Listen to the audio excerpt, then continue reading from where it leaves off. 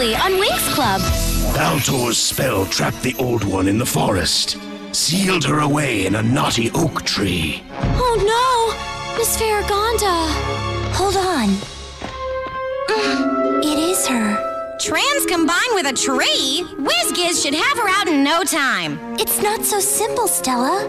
The oak tree has grown up around Miss F. Her life force has been mixed with that of the tree. We've got to do something, especially after everything Miss F has done for us.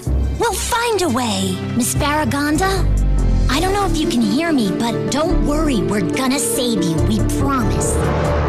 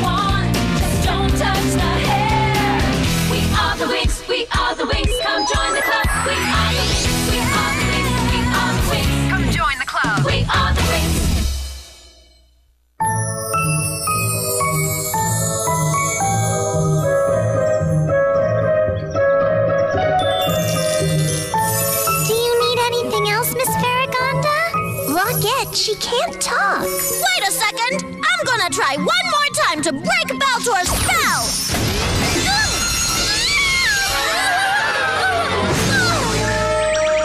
You don't have to worry because right now Bloom and the others are on their way to Linphea to find a way to break the spell and get you free.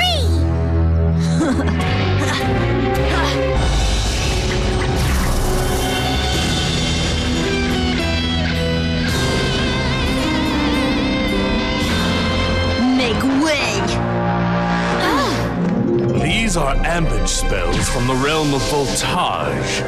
They're extremely powerful. Hmm.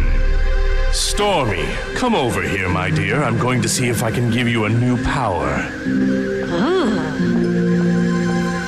But why her? Because I say so. So, how do you feel? Electric.